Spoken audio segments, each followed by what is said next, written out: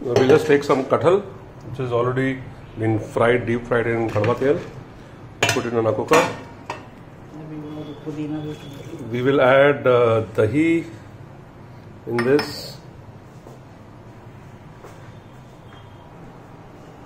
That's uh, easily about this size spoon, about I think three or four spoons of dahi, or rather three spoons of dahi.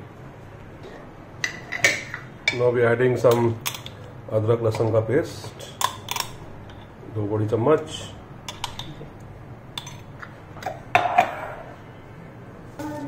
The onions we fried, we are putting it in. While recording. फिर छोटी छोटी plate का आधा plate है onion डाल दिया अंदर धनिया पाउडर धनिया पाउडर दो चम्मच तीन ही ले लो चलो एक ही बात है ये अप्रोक्सीमेटली हमारे जो पाँच प्लेट हैं वो बन रही हैं। हल्दी अच्छी खासी। एक बड़ी चम्मच मैंने हल्दी।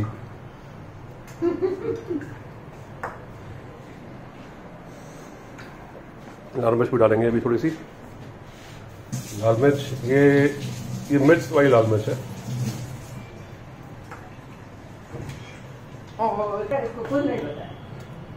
इसके बाद हम डालेंगे we you using biryani masala as well catch का यूज़ कर रहे हैं। ये क्या है? से अच्छा था ये भी बिरयानी मसाला है। बिरयानी मसाला ही है। वो डाल दिया हमने। और थोड़ा कैच का डालेंगे बिरयानी मसाला। दो चम्मच दो देखूँगा चम्मच- हाँ दो दो चम्मच। ये हो गया बिरयानी मसाला। दो चम्मच। क्या नो रुक जा वी हैव कसूरी मेथी मोटा धनिया छोटी इलायची लौंग स्टार अनीस बड़ी इलायची बे लीव्स तेजपत्ता सीक्रेट इंग्रेडिएंट बताऊँगा नहीं क्या है। डालो भैया। दारू भी है? दारू भी है।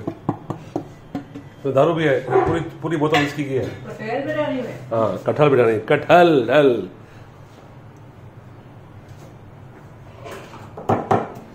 This is one entire bunch of pudina which is being chopped and uh, we'll put this in. मुझे एक बैग चाहिए मैं जा रही हूँ चार की delivery Hmm. There in goes pudina. Uh, pudina is a key ingredient for the flavor of biryani. The dhania is being chopped, which will also go in after the pudina. Similar quantity, one is to one ratio. We also get these big green chilies. So these are not chilies, and they're like, like really massive ones.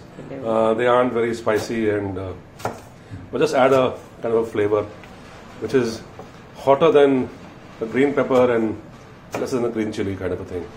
We just roughly chop them, and uh, uh, in they go. So this is not heat, but this is just flavor. अभी नमक salt to taste.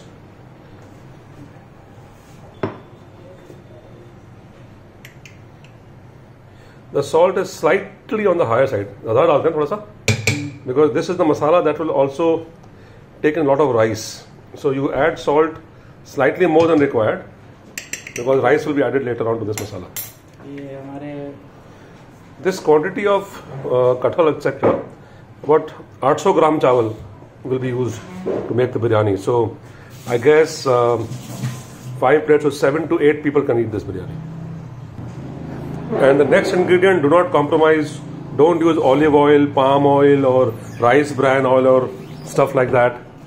You have to go for only one oil, and that oil is coming up now. So it is the mustard oil. But just preheat the oil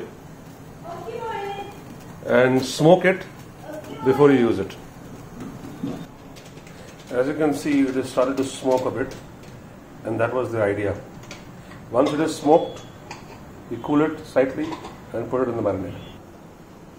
Okay, so now it is actually smoking. Now we're going to put the garam tail only in the in this thing, and this whole tail goes in approximately. डेढ़ सौ ग्राम तेल होगा ये कम से कम ये पूरा जाएगा इसके अंदर डालो भैया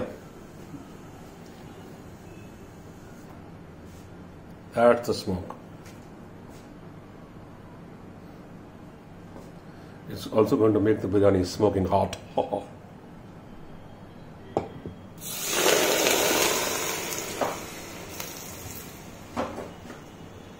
There it goes in the marinade.